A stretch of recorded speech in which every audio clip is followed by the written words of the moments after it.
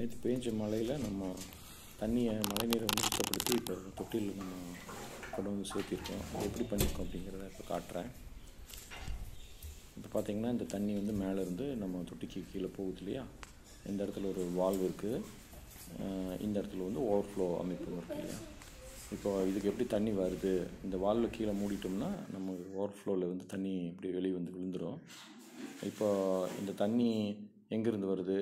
அப்படிங்கிறத எப்படி சுத்தமாகுது அப்படிங்கிறத உங்களுக்கு காட்டுறேன். தண்ணி வந்து இப்போ மேலே நம்ம கூரையிலேருந்து கீழே இந்த பைப் வழியாக கீழே வருது. வேணுன்னா நம்ம அந்த வால்வ் அடைச்சி விட்டுட்டா தண்ணி வந்து இங்கே இப்படி வந்து வெளியில் வந்து விழுந்துடும் அந்த கீழே கீழே இருக்கிற அந்த நீல நிற வால்வை திருவி விட்டோம்னா நம்ம தண்ணி தொட்டிக்குள்ளே போயிடும் இதுதான் இந்த அமைப்பு. இப்போ அந்த தண்ணி எப்படி வருது இங்கே அப்படிங்கிறத மேலே காட்டுறேன் உங்களுக்கு. இது பார்த்திங்கன்னா மேலே கூரையிலேருந்து இப்போ தண்ணி வருது இந்த பெரிய பைப் மூலமாக இப்போ அது கீழே வருது இல்லைங்களா? இந்த பைப் ஒரு பைப் இங்கே போட்டிருக்கோம். இது பேர் கிராவிட்டி பேஸ்டு ஃபில்ட்ரேஷன் சொல்கிறது அதாவது முதல்ல வர்ற தண்ணி அது அழுக்காக கொஞ்சம் இருக்கும் இல்லையா? அந்த தண்ணி வந்து இந்த பைப்பில் வந்து நின்றோம். இப்போ இந்த பைப்பு முழுக்க தண்ணி வந்து அந்த கு- அழுக்கோடு சேர்ந்து தண்ணி வந்து நின்று உட்பாடு இந்த தண்ணி அங்கேருந்து ஓவர்ஃப்ளோ ஆகும். அப்போ இப்போ வந்து இந்த பைப்பில் தண்ணி வர ஆரம்பிக்கும். இப்போ அதுக்கப்புறம் வர்ற தண்ணியெல்லாம் இந்த பைப்பில் வரும். இப்படி இந்த பைப்பில் வந்து இந்த இந்த ஃபில்ட்ரேஷன் சிஸ்டத்தில் வந்து உள்ளே வந்துடுது இல்லையா? உள்ளே வந்து இங்கே ஃபில்டர் ஆகி பார்த்தீங்கன்னா தெரியும். அது உள்ளே வந்து இப்போ ஃபில்டர் ஆகும். இந்த இந்த அமைப்பு விட்டு இப்போ இந்த ஃபில்ட்ரேஷன் அமைப்பு விட்டு தண்ணி வந்து இப்போ வெளியில் வரும். வெளியில் வந்து இது வழியாக இப்படி கீழே போயிட்டு இந்த பைப் மூலமாக நம்ம இப்போ கீழே பார்த்தோம் இல்லையா? தொட்டிக்கு அந்த தொட்டிக்கு போய் அங்கே சேர்ந்துடும்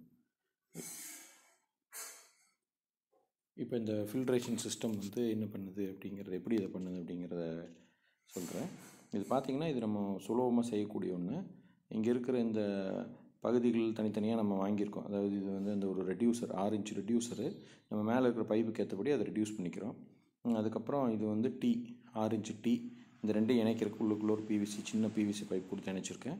அதே மாதிரி கீழே பார்த்தீங்கன்னா அதை மூடுறதுக்கு ஒரு ரெண்டு கேப்பு அதுக்கு அதே மாதிரி ஒரு சின்ன பிவிசி கொடுத்து உள்ளே நான் இணைச்சிருக்கிறேன். பின்னால் ஒரு கிளாம்ப்பு இந்த கிளாம்ப் வச்சு இந்த மொத்த இந்த ரெண்டு கிளாம்ப் கீழே மேலே ரெண்டு கிளாம்ப் வச்சு இந்த மொத்த சிஸ்டத்தை மாட்டியிருக்கேன்.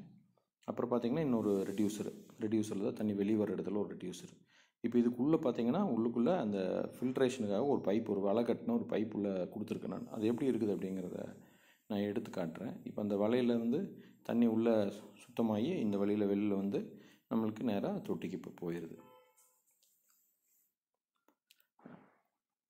இந்த வலையை பார்த்தீங்களா உள்ளுக்குள்ளே இது ஒரு பைப்பு. அந்த பைப்பை வந்து நம்ம வெட்டி விட்டு அதுக்கு மேலே ஒரு வலையை வச்சு கட்டியிருக்கோம். அவ்வளோதான் இந்த பைப்பு வந்து நெ நீள நீள வாக்கில் மேலேருந்து கீழே வரைக்கும் ஒரு மூணு ஸ்லாட் எடுத்துருக்கோம். அதாவது மூணு வித- மூணு கட் மூணு இடத்துல கட் பண்ணி விட்ருக்கோம் பெருசாக கட் பண்ணி விட்டுட்டு அதை சுற்றியும் ஒரு வலையை வச்சு நல்லா கட்டிட்டோம். அவ்வளோதான் இந்த கொசு வலைக்கு உபயோகப்படுத்துறீங்களா? அந்த வலை.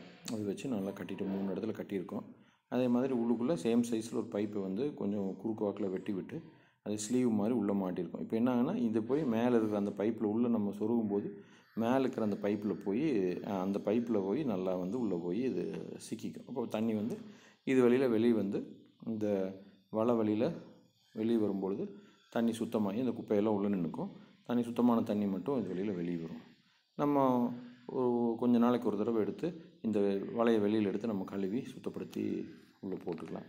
ரொம்ப எளிமையான அமைப்பு.